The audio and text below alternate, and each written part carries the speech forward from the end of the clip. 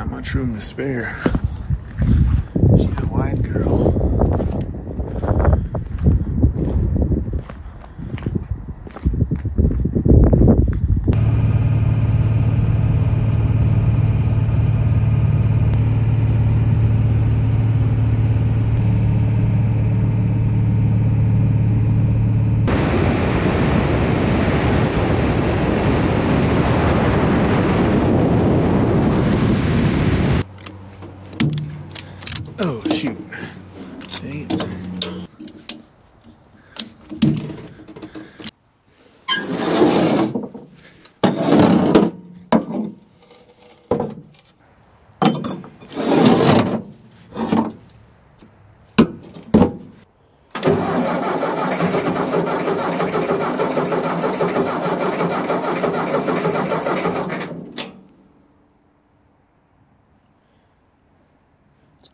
Here. It's nice and warm in the garage.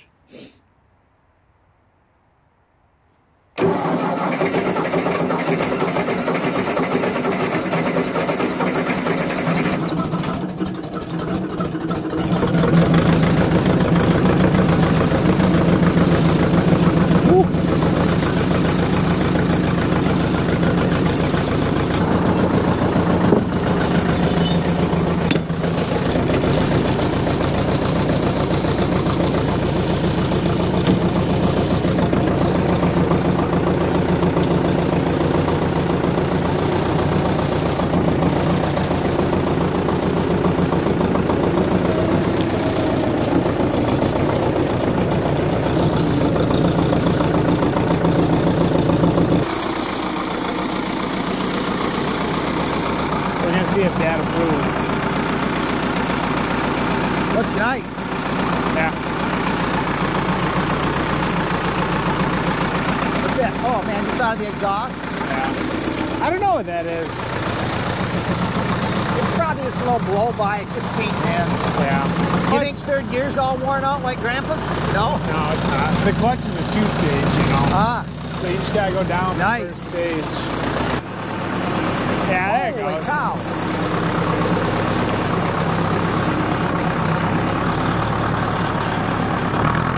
Wow.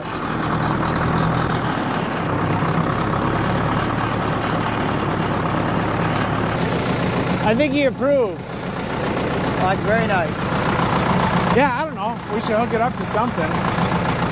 Well, everything's up by the shop, right? Yeah. Yeah, that's fine.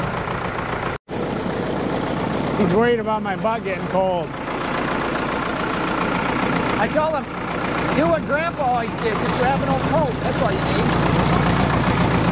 All right, what should we put on it? Uh, maybe the box grader, maybe the plow.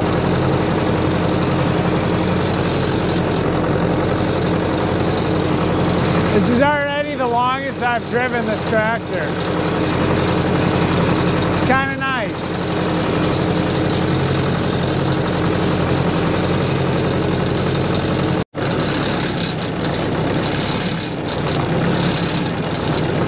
So that's the tractor that started the obsession. That's just the 800. Uh, but that's Grandpa's backhoe. He's, you know, had it. He built it. He put the Sherman kit together and put it on it.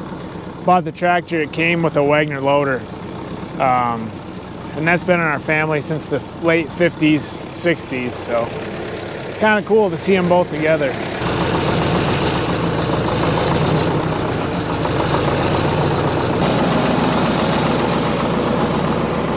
I thought it was a button.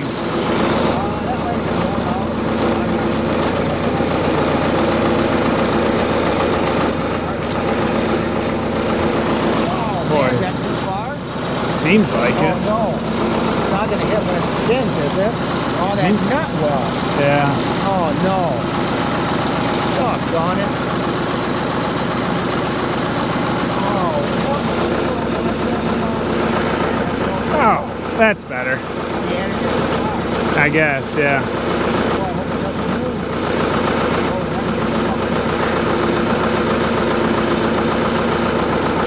it. No. Well, yeah, it can. And it might.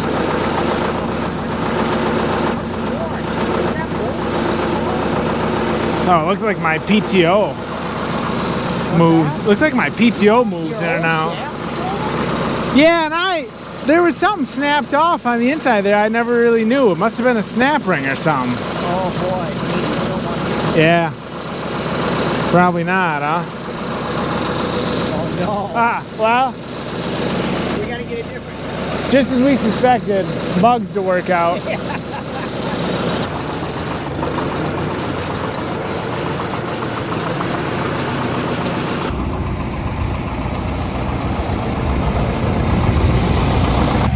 All right, we gotta, we wanna grade the trail, but we gotta get rid of the leaves first, so.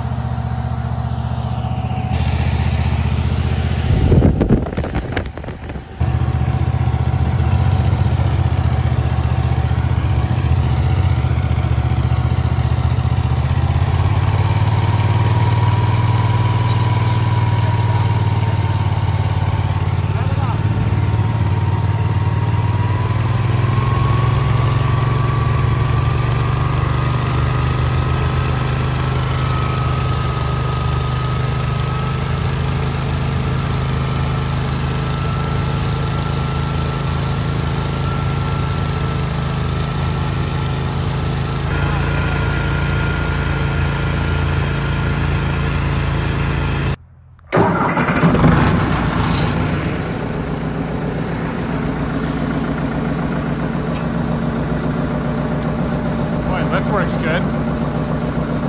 First time I've used that.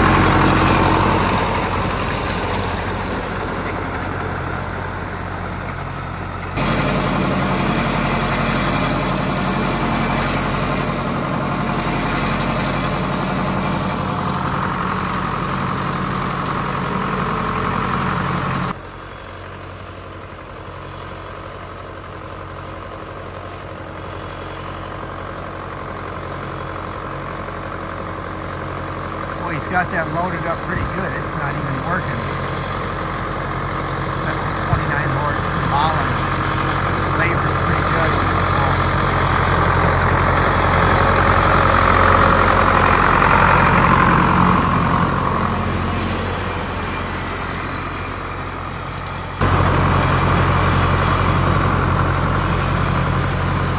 Working pretty good. Well, it does a nice job if nobody's ever had a box grader like that. It really smoothens it out nice. Just a little limestone chip, go over it a couple times a year. Just like concrete underneath there.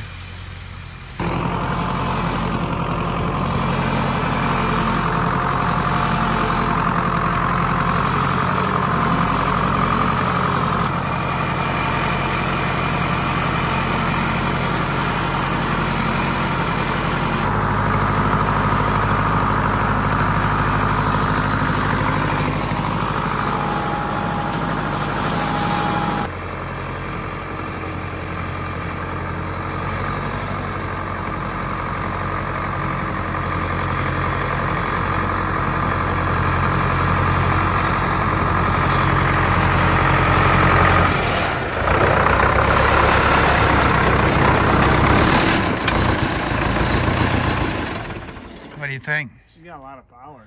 Boy, I was just commenting that little New Holland 29 horse, that thing, if you load that up, it struggles. This thing was like down there. You couldn't even hear it bogging. It Oh, was just I know. spinning, but it was spinning both the rear tires. We got to find something for it to do. Oh, it was spinning the tires? It just spin both Oh, tires. I didn't even think it did that. Oh yeah. In fourth gear, it'll spin both tires. You Wow. can't even hear the stupid thing bog. Wow. Warming up finally. It's good for him. Yeah, very good for it.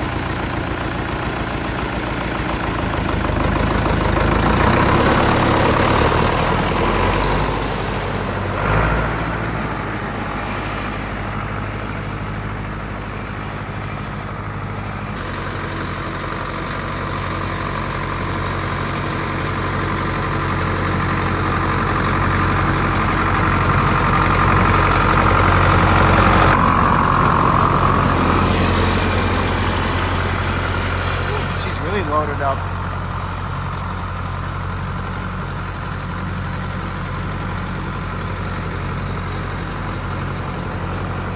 But it really does a nice job. You can take a golf cart over this and it is nice and smooth. Yeah, that little guy up there. Boy, what? He's probably about a foot tall, isn't he? Yeah, it's a pileated woodpecker. Well, it passed a couple tests. Um, it's got lots of power. Like we said, it'll spin both tires in fourth gear, uh, pulling that thing. So I know I got to get the tires loaded, but that's one thing. Also, this thing is amazing. This isn't an ad for them, but that's what we've used for years on the trails around here. And look, you know, you basically make two passes, and it's like a it's like a super highway after that. Right, right there. It must be Bionic Blade. I don't know if they're still in business, but They should be, unless their patent ran out. Um, and then also the hydraulics, you know, everything else works. But I was worried about the hydraulics, if you guys remember, because they still kind of want to drift up as we go. Um, if there's no weight on it, you know. But with that, and that blade's not light either. You know, with that blade on it, they work real strong, and I got real good control because you got to kind of modulate it as you're grading the trails, right? I got real, real good control with that. It's, you know, I'd say just as good as that New Holland. You know, those new hydraulics, yeah, you got really good control. So that works good. Up on you or no? No, it doesn't drift up. It only drifts up if you don't have a load on. You know, but then if I stand on them, they go down. Yeah. So things to fix. Um, that PTO shaft, if you guys remember, I took that housing out and put a seal in there, and it looked like the whole back was sheared off. I'll put a clip of that up here. Um, and maybe a snap ring was missing. So it seems like, yeah, see that PTO shaft slides in and out? That's not right. Um, so I'll probably have to get a new housing there for that new snap ring that broke. And then I don't see any drips down here. Um, but I just, that little bit of antifreeze down there is just weirding me out. I don't know what the deal is. I guess it could be maybe bubbling over if I had it overfilled. But that does not give me a warm and fuzzy feeling inside though. But other than that, I mean, it's, I'm thrilled. I'm amazed. It actually, I think it runs as good as it looks, which is good. Another thing is I, I just am getting a lot of slobbering right out the exhaust. I don't know what that is. I don't know if the rings aren't right, if they're not seated quite yet. Um, it's not smoking at all, you know, and I think if the rings weren't right, it would smoke and leak oil. But someone will let me know in the comments what the deal is there. But it's just an old tractor too, so it might just be messy and slobbery. I don't know, but I'm not really worried about the engine not having. Uh, I'm not really worried about the engine not being built right, but it is kind of depressing to see it slobber all over the nice paint. All right, there's like a cultivator. It's more like a ripper. Every other shank is missing. That'll probably be a pretty good engine test for it, but it's buried. And before you guys ask, yes, someday we'll get that out. The idea is not to start 87 projects at one time though. You got to finish them.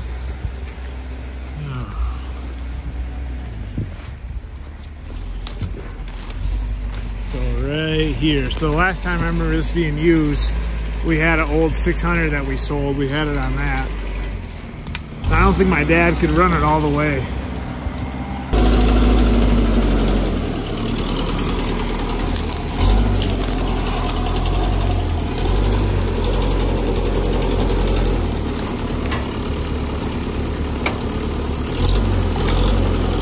Pretty good.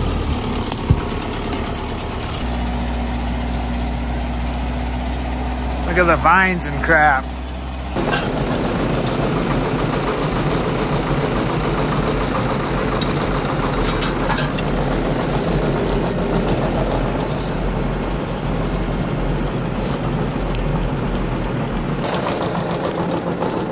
There. Hey, right over there.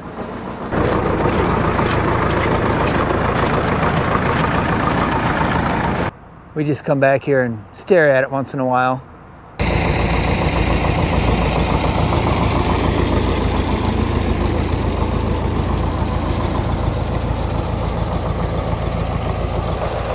Should be a good test for it.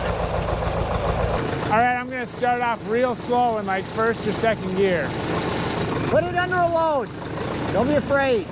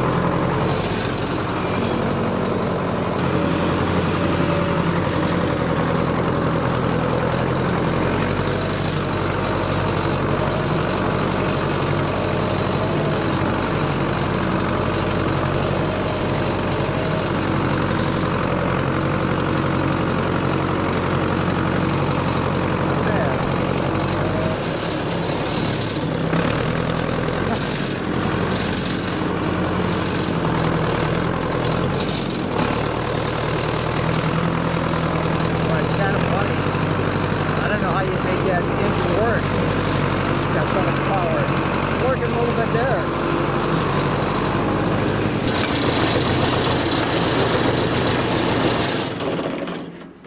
Actually, ain't some bad ground here. Huh. Well, I think I need some loaded tires.